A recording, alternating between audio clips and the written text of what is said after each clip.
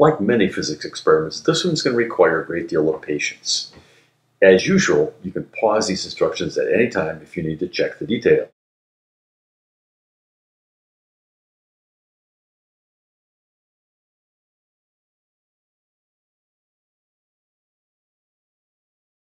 All right, here we go. We know the length of this the string to be 111 centimeters, the yo-yo string. And so now we're going to do is we're going to let it go and we're going to test the period. Ready, set, go.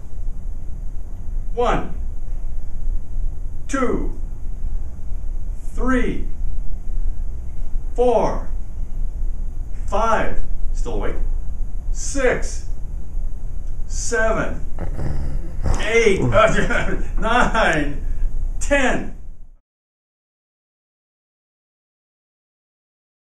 We go. So we know that the length of this yo-yo string is 111 centimeters. So now that we know the length, the next thing we're going to do is we're going to let this swing and find out what the period of the swing is. Ready, set, go. One, two, three, four, five, six, um, seven, eight, nine, ten. Got it.